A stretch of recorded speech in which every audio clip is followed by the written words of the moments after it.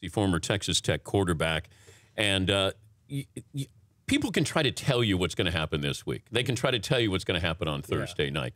What's the best piece of advice you've been given leading up to the draft? I mean, just just be ready for anything. The team that you think is going to draft you probably won't get you. So I mean, that's just the best piece of advice for me. I'm not going to be set on one team. I'm hoping to draft me. I'm just going to be out there ready just for whatever situation and try to and try to be ready for the, to make the most best of that. Okay. Do you feel like teams have lied to you without naming names?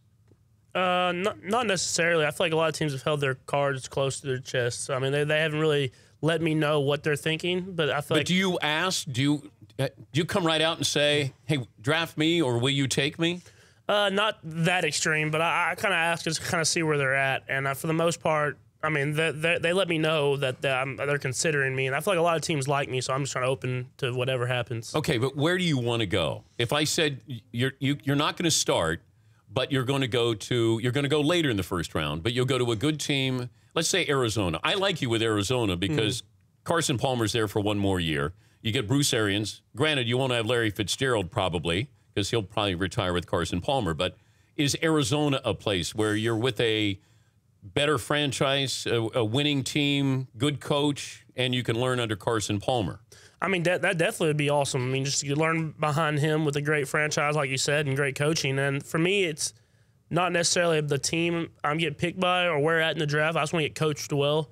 And I feel like a lot of a lot of teams have good, great coaches, like, and a lot of situations would work out well.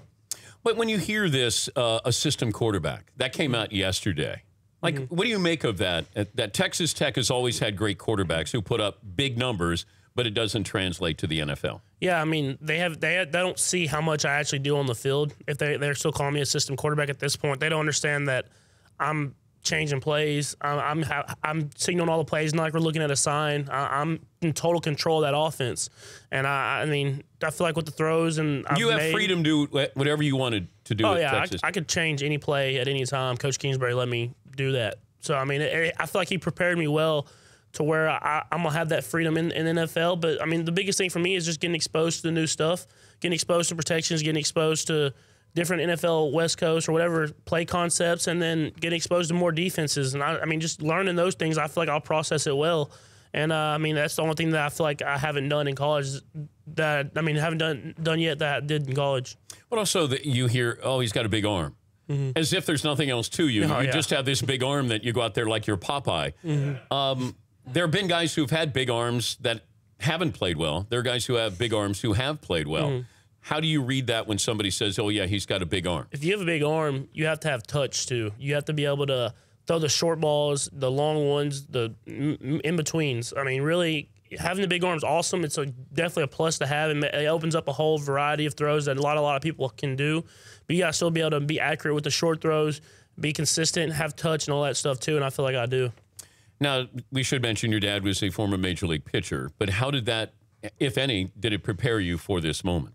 I mean, it, it did a ton. Just watching how professional athletes work, the work ethic they have. And I mean, everybody sees them and they think they're just that talented. They show up and they hit home runs every every pitch. They don't see them in the batting cages hitting on the tees for hours, doing the stuff no one else wants to do. And that's the stuff I saw when I was a little kid growing up.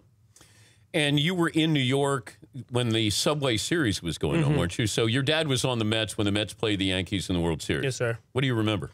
I re- that's when I really start first remember. I remember I don't remember a ton of the games, but I remember being out there on the field, the atmosphere, the during BP and all that different stuff. But I mean, it was I mean the atmosphere was crazy. I mean that's where the moments that you want to be at as a, especially as a quarterback in the NFL. Did you cry when your dad lost?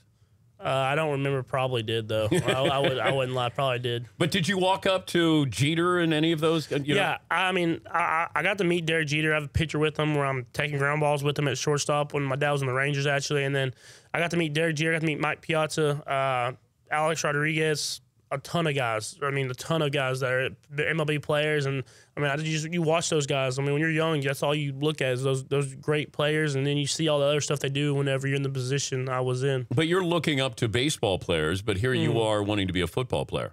Yeah, I mean, definitely. It just it came on late, and I fell in love with it right when I started playing it. And uh, I mean, I just love playing quarterback. I love having that pressure on you. I love getting the win and lose football games. I mean, uh, you can't ask for anything more. I mean, than winning a football game with your your teammates after grinding out all offseason just to pl- play with 16 games in the NFL and then tw- maybe four more. What, it, what? How many attempts against Oklahoma? 88. How, come on. There, there was there there wasn't a game where I was close to that. It was just one of those games where I was I was hot. The receivers were making plays. Everything seemed New York and line was blocking well, so we, we just kept kept it going. Is your arm sore? Not uh, not really. My arm didn't really get sore, so I mean it was something that we, Wait, but your dad didn't throw 88 pitches in a game. Yeah, I mean, it was, it was more, uh, what's called, uh, at practice, we throw probably 200, 200, 250 balls a game at practice. So I'm used to throwing a lot. What's your plan for draft night? I'm actually uh, going to have a party back in Tyler, Texas with my family and friends. So, do, no interest in going to the draft? No, I got invited. I mean, it was definitely an opportunity I looked into and that I thought I might want to do, but I really wanted to just spend it with my family and friends, all my family and friends, and uh, I knew I couldn't do that when if I if I went to the draft. What if you just wear your Texas Tech uniform at home during the draft? Like your full uniform, taped up, ready to go? I mean, that could be a good thing, I would think. Yeah, I mean, you're ready to, you're ready to play there. yeah, I might have to. I might be ready to go practice the next day, I guess. But did you think, give any thought to you sit in the green room, and if you don't get drafted, you can sit in the green room for a while? I mean, yeah, you definitely seen it in the, the last few drafts. I mean, you saw it with certain guys. I mean, but it, it doesn't. That wasn't really the main point of me not going. For me, it was just all about I can only take seven, eight people if I go where, where I can spend it with 25 of my closest friends that have been there forever and family members. So I thought that was pretty much the reason I chose to stay. Um, I remember coming in, and it wasn't the game against Oklahoma. I came in on a Monday, and I, I like I was fascinated in, in watching in Oklahoma State game. Mm-hmm. I came in and I go. I, I even text these guys. I said, "Turn on whatever channel it was," and it was like I don't even want forty something to forty something at mm-hmm. halftime. And like it was crazy. I thought you guys were both going to score eighty. How would you describe your style of play? Because it's different than any quarterback I saw this year. Yeah, I mean, going in, my mindset uh, was we're going to score every single drive. Uh, I mean, I, and I truly believed every single drive of the entire football game, no matter if we started at the one our one yard line or if we started at the forty, I thought we were going to score that drive. I thought we were going to score a touchdown. And so, I mean, this that mindset, I always I took chances and. It worked out most of the time. Sometimes it, it did. Sometimes it didn't. But I mean, as you you learn as you get older, you learn from your mistakes. And so, I mean, just the mindset of I'm gonna go out there and I feel like we, we can beat anybody. Did you ever get down on yourself? Uh, I mean, after after some of the losses I took, I, I definitely was. I'm down and sad, but I mean, knowing that I had another opportunity coming, knowing that I had another chance to win, uh, the next week I always would bounce back fast. Does anybody play defense in the Big Twelve? Yeah, I mean, I feel like the. I mean, you see it when we play other schools. I mean, we don't. There's not as many points given up when we play SEC schools and we play Big Ten, whatever we do at Pac-12. I mean, it. The Big 12, we get knocked about our defenses. I think it's more our offenses are just just that good. Who was the best team you faced in your career? my career, the best team I faced was probably LSU. Uh, just the most talented team I, I faced. Few athletes out there? but uh, Oklahoma, my my sophomore year was pretty good too. Do you have the hair a little bit higher just to make you look taller? No, I, I, something that I started growing. I was with what I don't know. I don't know. He, he looks six five. Yeah, it feels like that. Maybe that's uh, no, that's by design, there, Patrick. actually one of, actually me and one of my friends after my freshman year of college decided we're not gonna cut our hair, so we just let it grow out. How'd that go over with mom? She she's fine with it. Uh, every, everyone in my family seems to like it more than it was before. What do you get, mom, when you uh, get drafted?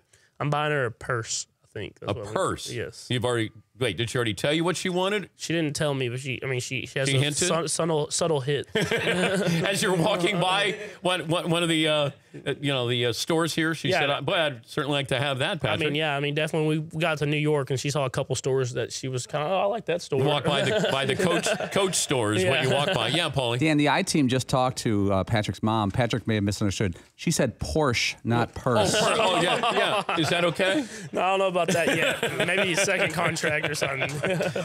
Hey, well, have fun uh, at home and uh, good luck. Uh, by the way, if you have, uh, if you're watching on DirecTV, the Audience Network or uh, NBC Sports Network, we did this with Deshaun Watson first hour. That is uh, something that was on a Mardi Gras float. That's my face, believe it or not, there, Patrick. Okay. All right, you get two throws. You have to hit me right on the nose. All right, Okay. about uh, 18 yards away. Okay. and you can put a dent. You can, you know, rearrange my nose if you want to there. Okay. Yeah, it's up. I mean, you got a big arm, or so I've been told. So uh, during the live look in, we'll give you two shots there and see if you can uh, hit me on the nose. All right. Sounds All right, good. that's uh, Patrick Mahomes, hopefully going in the uh, first round and maybe to Arizona for some reason. I don't know why I'm locked in on that, but that'd be a nice landing spot for him. The Dan Patrick Show, weekday mornings on Audience.